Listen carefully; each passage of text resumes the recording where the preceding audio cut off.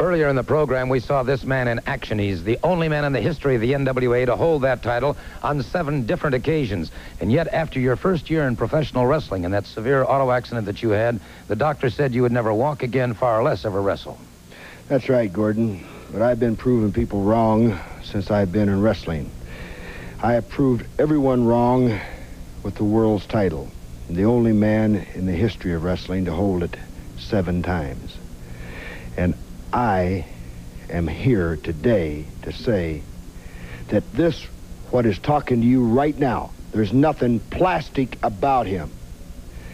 Now, up in the New York area, they're used to a lot of camouflage plastic. They've got people running around the city calling themselves what they're not. Well, I'm here to tell you and them right now in order to prove me wrong, get off your backside and hop in the ring with me anywhere around the world.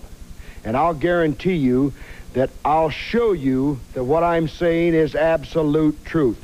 In the last few weeks, you've had everyone else on here, and you've talked to everyone else, Gordon.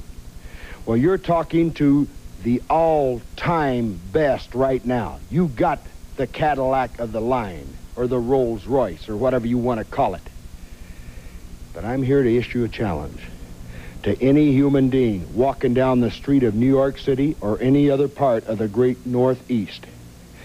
Hop your butt in the ring with me and this see who the best man in professional wrestling is today. Whether it's me, whether it's you. But let's find out. Let's get it out where the people can see it. And I'll prove to you that all you have seen for years is total plastic, buddy. Total plastic. This is the man. Thank you so much. Let's go to the ring, please.